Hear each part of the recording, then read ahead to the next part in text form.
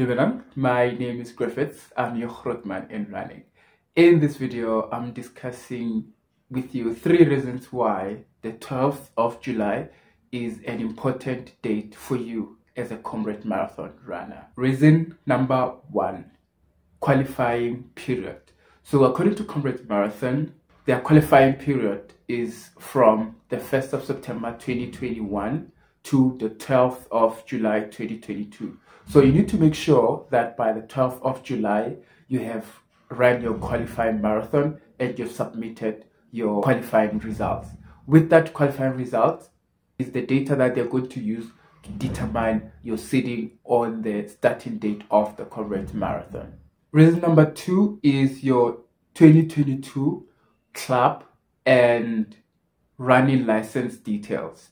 By the 12th of July 2022, you need to have all your club and your license details updated on your Comrades Marathon profile. Comrades Marathon will send you an email as a reminder for you to update your 2022 license and your 2022 club details.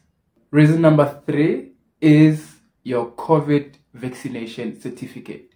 So it is mandatory for you to be fully vaccinated when you run Comrades Marathon in 2022.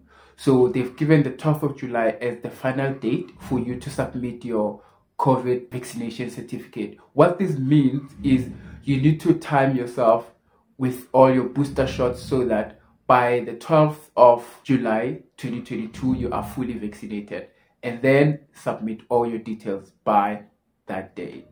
12th of July is a very important date. On that date, you must have your COVID vaccination certificate submitted.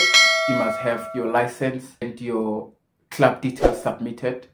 You need to have qualified and have your qualifying time submitted so that your seeding can be determined. If you haven't done that by the 12th of July, you must kiss running comrades marathon goodbye because yeah, you you really cannot run with having that sorted and they've given you enough time for you to sort it out. Don't wait for the last minute because people and doing things in the last minute. Oh, I don't get it. Start now. If it means you need to get your vaccinations now and be fully vaccinated by June, do that so that you can have all your booster shots in. If you haven't qualified, choose between now and June.